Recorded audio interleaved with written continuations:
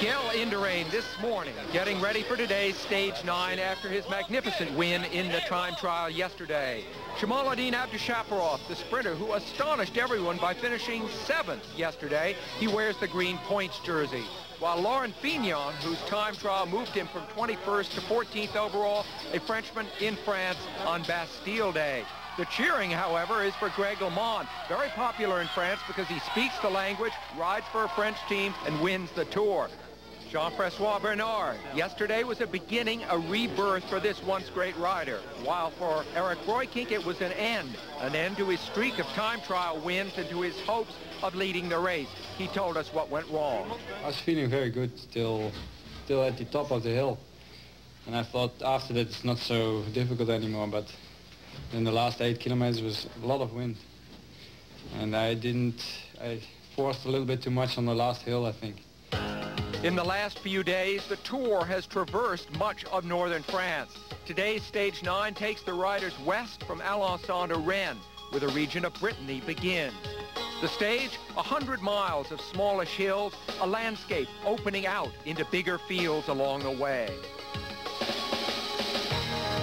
Shortly after leaving Alençon, Dmitry Konyshev pulls alongside Henri Abadie, joining the Frenchman in a two-man breakaway. On a day following a time trial as demanding as yesterday, the peloton might have been expected to set a quiet pace. Once again this year, that is not the case. A group of eight now join the early leaders, swelling the breakaway to 10. None of the overall leaders are in this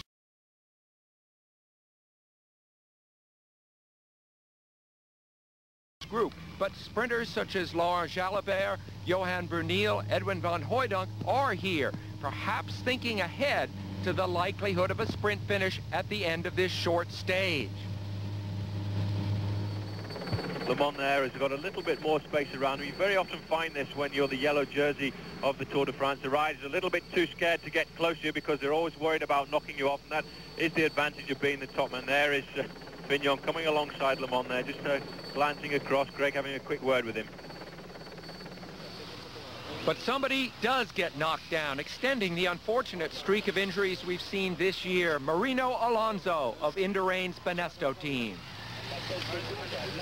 I don't think this breakaway is going to get picked up again today because the lead is over two and a half minutes now and what glimpses we've had of the main field, there is no reaction as yet. As yet. This is Calcaterra going through, being followed through here now by Thierry Bourguignon and there is a reaction from the bunch. Greg LeMond has moved up to the front and it looks as though the Z team are happy to ride along here. Keep an eye on the big leaders in the main field. So the peloton goes by, headed west on July 14th, France's big national holiday. Nationalism is a powerful force shaping professional bike racing. And through the years, France and French teams have dominated the Tour with 36 victories. Belgium is next. Spain has just three. America's three, all by LeMond. Ireland's single win by Stephen Roche, eliminated from this year's Tour early in the race. The peloton in the final miles of today's stage nine, chasing hard. The gap to the break is shrinking steadily. The riders of the break working out their end game strategies. And so now the leaders here are entering the outskirts of Rennes. They're five kilometres or so from the line. And the gap is now down to 1 minute and 30 seconds. So it's still touch and go, Paul. Well, it is touch and go. I think at 20 kilometres to go when the riders went through Châteaugiron, I would have said that they were going to get caught, but there's been a little bit of a change in the tactics at the back there. The Panasonic riders deciding not to chase anymore, so the gap went back up a little bit for 10 or 15 seconds, and now it's stabilizing at one and a half minutes. Now there's 10 kilometres to go now, and it's inside the streets of Rennes, and anything can happen really. I think there's going to be an attack once we go around one or two of these corners, and the team who will have to do all the work is the Toshiba team because they have three men here, plus the fastest sprinter, Laurent Jalabert. And that is why Bernard Vallet, the team manager, is up alongside his Toshiba riders there. And I think, Paul, he's telling one of them they must attack. Well, he will be uh, telling them to watch out for the attacks of the other riders as we go under the banner for five kilometres to go. Ribeiro taking up the back here. Riders still wanting to know from their team managers what the gap is behind because they want to start uh, jostling a little bit for position here, looking for the attack. They don't want to ride as hard as they have been, but always worried about the field coming back from behind. Five kilometres now for the big field. Greg LeMond, as usual, riding at or near the front and keeping out of trouble and the risk of crashing at the back. And the break has shrunk to the point where none of the leaders of the race overall will see their positions change.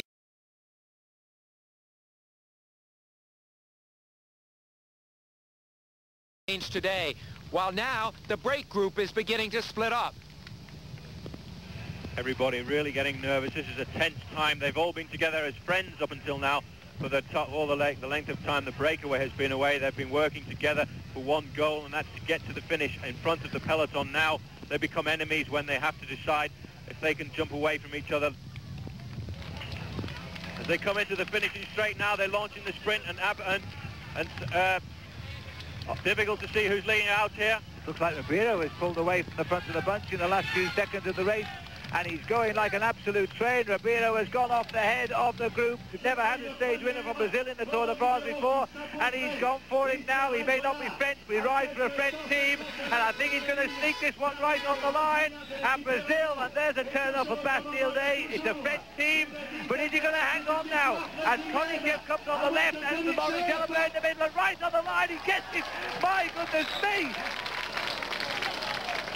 The peloton, it's race now for 11th place, and they are strung out momentarily with the Belgian Lotto team at the front, 35 miles an hour on the streets of Rennes. We expect Johan Museeuw, here he goes on the left of our picture now to try and lead them home. And coming at him too is Etienne de Wilde, the winner the other, way, the other day rather. De Wilde on the right, Museeuw just takes him. So with Mauro Ribeiro managing to hold on against Laurent Jalabert, he rides into the history books as Brazil's first ever stage winner. Konyshev is third. The overall standings remain roughly the same with LeMond on top and Breukink and the remarkable Abdoujaparov just over a minute back. Bugno and Delgado are around four minutes back. Chiappucci was hurt by yesterday's time trial. Andy Hampsten is waiting for the mountains. And in the mountain jersey, Belgians Peter de Clercq. This competition will get serious in the Pyrenees on Thursday.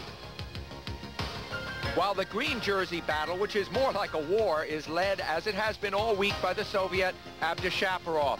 The Tour de France, an international event, as Phil Liggett reports.